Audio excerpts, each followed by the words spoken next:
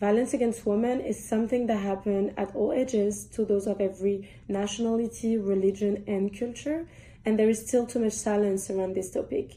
Just because it takes place in a domestic sphere doesn't make it private.